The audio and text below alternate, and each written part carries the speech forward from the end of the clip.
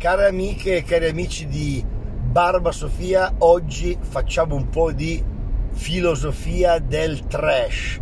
Il cinema trash, il cinema che sapete io amo perché riesce sempre a mostrarci qualche aspetto della nostra società, qualche aspetto della nostra cultura, spesso nascosto, spesso secondario. E poi, lo dico veramente con tutto il cuore, il brutto è bello. Parliamo dunque di Lockdown all'italiana, il film di Enrico Vanzina, il primo film, perché Enrico Vanzina è sempre stato sceneggiatore e non dunque mh, regista.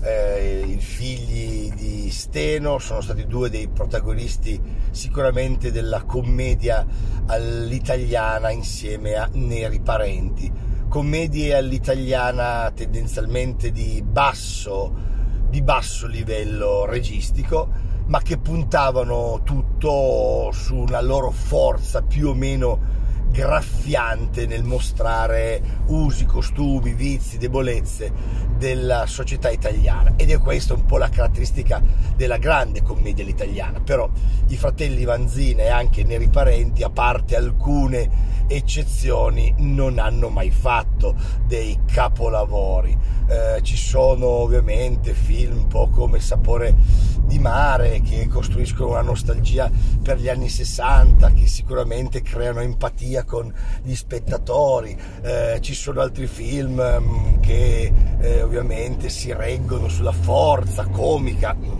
di Boldi, di De Sica, Neri Parenti in molti casi addirittura con con Paolo Villaggio, con Lino Banfi.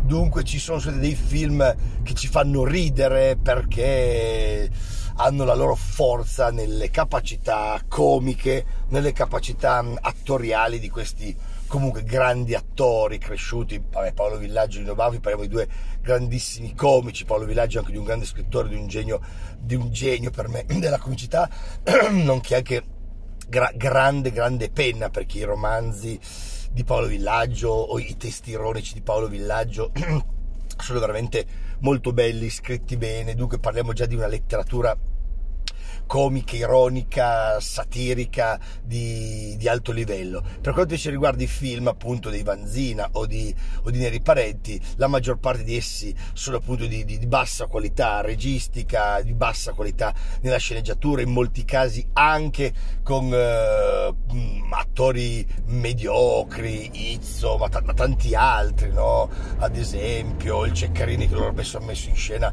nei loro film di basso livello, ma tanti altri, anche quando attrici abbastanza buone come la Ferilli sono finite in mano nelle loro sceneggiature, uscivano a mio avviso con veramente delle, delle parti eh, mediocri. Però come ho detto in questa anche bruttezza di film eh, ci si può ci si può divertire, perché il brutto è bello e perché il brutto può essere divertente. E ci torno sul sistema del brutto e torno su Lockdown l'italiana che sono riuscito a vedere non al cinema, ma per curiosità sono riuscito a, a, a guarducchiare un pochettino.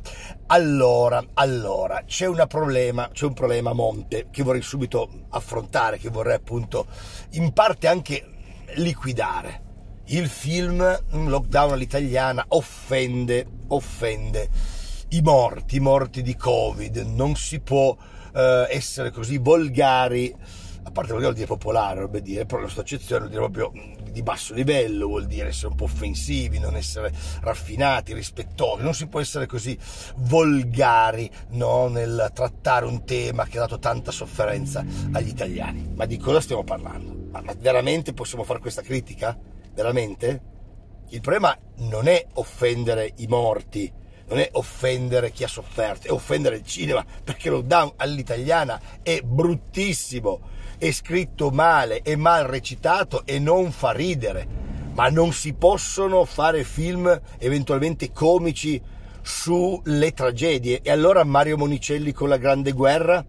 Non si può provare a far ridere. Il problema grande è che Mario Monicelli con la Grande Guerra fa un grandissimo film, Mario Monicelli, invece, invece Enrico Vanzina fa un film bruttissimo, mal recitato, fa un film appunto di bassissimo livello, di sceneggiatura, le battute non fanno ridere, gli attori sono addirittura fuori tempo. Ed Ezio Greggio è uno dei peggiori attori non è un attore innanzitutto, era un uomo di sketch, ha fatto il successo nel drive-in di, di Antonio Ricci, qui facciamo eh, gli auguri di, pre, di, pronta guarigione per il Covid-19, ha fatto successo come um, D'Angelo, come Beruschi, va bene, intorno a questa idea veramente molto, molto fast food di una comicità fatta di sketch, fatta di donnine prosperose sui pattini a rotelle, fatta di icone appunto sexy, prosperose come Carmen Russo, ha fatto successo intorno a, a, a quella modalità appunto di, di sketch, di personaggi anche proprio stereotipati filmati forzati, ma poi, poi basta. Ezio Greggio non sa recitare, è imbarazzante. Nei film di Ezio Greggio, veramente la cosa più bella è la bruttezza con cui recita, con quel tono di voce, con quelle battute tirate veramente di addirittura è cacofonico, cioè quando parla con quella voce è inascoltabile, non fa veramente ridere questo è il problema di Lockdown Italiana, che non fa ridere, che è brutto, che è scritto male, che è recitato malissimo, la stella è inguardabile, va bene? Inguardabile nel modo in cui si atteggia, in cui recita, è anche un'attrice discreta in, in altri film. Cioè il problema di Lockdown Italiana non è che offende la memoria del, del, de, dei morti o di chi ha sofferto per il Covid, il problema di Lockdown Italiana è che è brutto, che è terribilmente brutto, offende il cinema, ma hanno offeso il cinema più volte, i Vanzina sono sopravvalutati risultati. I Vanzina vanno goduti nel loro fare film brutti in molti casi, con, con sceneggiature piene di buchi, con personaggi impro, improponibili, con battute trite e ritrite. Non possiamo far passare i Vanzina come dei geni perché un conto sono De Sica, padre, un conto sono eh, Mario Monicelli, questi registi a commedia italiana, un conto sono i Vanzina, c'è una grandissima differenza. Va bene, la fortuna di Vanzina è stata quella di avere degli attori comici bravi, perché i primi perché De Sica è un grande attore innanzitutto Boldi è stato un grande comico anche in alcune battute, in alcune tempistiche ed è un bravo attore, poi è sempre della parabola umana di Boldi, ma, ma quanti? Io, io distingo sempre gli aspetti umani, politici, culturali, gli aspetti attoriali la parabola umana eh, di, di, di, Boldi, le uscite anche in ambito politico, di un qualunquismo, la demagogia, ma come tanti poi cresciuti sotto la, il, grande, il, grande, albero berlusconiano, cioè di un, un, di un, comunque uomo che a loro ha dato tanto, perché Berlusconi ha regalato soldi, soldi ad attori e registi che facevano film di merda, che recitavano male a un certo punto, anche proprio perché era il padre padrone che teneva a corte. Questo è stato Berlusconi. Berlusconi è un, è, è un imprenditore diverso dagli altri, un imprenditore imprenditore che ha voluto a un certo punto essere quasi sovrano, che ha voluto appunto essere, essere circondato da nani, ballerini giganti, va bene, da, da, da majorette, da, da, da, da, saltimbanco, da gente che poi lo ringraziava. Ha dato dei soldi ancora per fare dei film Berlusconi. Ha un Jerry Calà, bolso, trito, ritrito, che faceva film orribili, torno a vivere da solo. È un film inguardabile, inguardabile. Io lo guardo perché è bello. È bello nel suo essere inguardabile, perché dici no, com'è possibile? Ha avuto fuori tempo un Don Johnson, un Don Johnson veramente ri- ridicolo. No? E Don Johnson anche a me piace perché, perché spesso è ridicolo, perché ormai è un po' fuori, è un grande attore, Don Johnson. Ad esempio nella serie Watchmen, nella prima serie, le prime puntate, eh, eh, eh, mi piace tantissimo, anche lì fa, fa, il capo della polizia molto ironico, in Django, no? quando fa il capo di, di fatto no? di, di, di, un gruppo del Ku Klux Klan, è irresistibile, ma in quel film è inguardabile Dunque, lockdown all'italiana, ripeto, non offende i morti, non, ma offende il cinema. Si può parlare con ironia de, delle tragedie. Cavolo, allora la vita è bella? Alla vita è bella provare. Cioè, la polemica è stata all'epoca perché si poteva ridere della Shoah, si poteva ridere di un genocidio, ha dimostrato Benigni di fare un film comunque buon film, mm, molto criticato, discutibile, io non impazzisco per la vita bella ma è un film di buon livello.